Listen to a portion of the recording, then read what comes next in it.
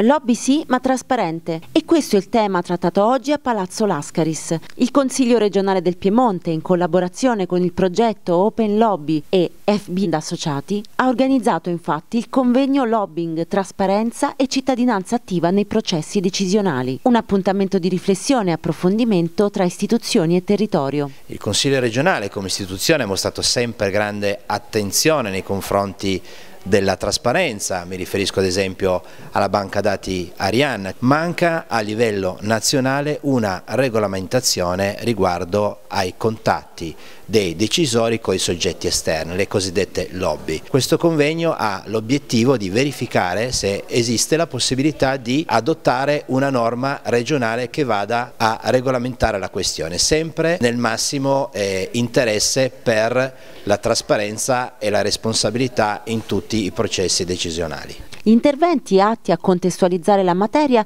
sono stati tenuti da Alberto Bitonti, Università della Svizzera Italiana, Paola Perotti, FB Associati e Gianluca Sgueo, New York University. Aprire un confronto con gli stakeholders per cercare di individuare il percorso migliore per arrivare ad una regolamentazione dell'attività di rappresentanza degli interessi a beneficio del processo decisionale, quindi dei cittadini piemontesi, eh, non può che trovarci d'accordo. Io mi occupo di relazioni istituzionali, di lobbying ormai da diversi anni, sono partner di FB Associati, una società che eh, nasce più di vent'anni fa e che per la prima volta senza alcuna vergogna tra virgolette ha dedicato in via esclusiva la sua attività proprio alla rappresentanza di interessi. Io credo che la sfida della regolazione dei gruppi di pressione, quindi della trasparenza, si possa vincere a due condizioni.